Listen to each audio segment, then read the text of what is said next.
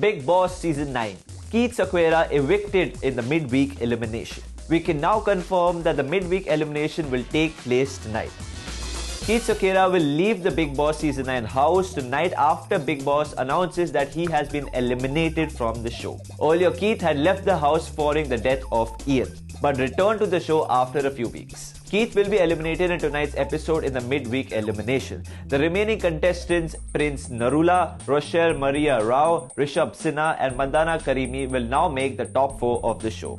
If you look at the previous seasons, either the top four will make it to the finale and one person will be eliminated on the night of the finale, or one person will be eliminated before Saturday and the top three will go into the finale. Who do you think is going to win Bigg Boss Season 9 and was it right to eliminate Keith from the show?